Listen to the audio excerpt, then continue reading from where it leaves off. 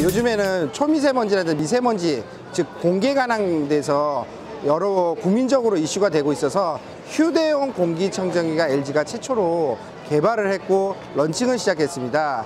가장 큰 장점은 필터라는 게 소모품이다 보니까 이 필터를 뭐 어떻게 쓰시냐 또 추가 비용이나 유지비가 같게 돼서 6개월에 만 원 정도의 2,000시간을 쓸 수 있는 유일한 공기청정기로 만들었다는 게 가장 큰 장점이고 그리고 저희가 히트천 지방 공기청정기 모델의 필터를 그대로 썼다는 게 장점입니다. 그래서 가볍게 쓰고 유지 오래되고 그리고 게 인증을 받았다는 거죠. CAC 인증, BAF라고 알레르기 협회, 그 다음에 우리나라 공기 알레르기 협회 이 세 가지 인증을 유- 받은 유일한 휴대용 공기청정기가 지금 런칭돼서 인기가 많고 인기몰이를 하고 있습니다.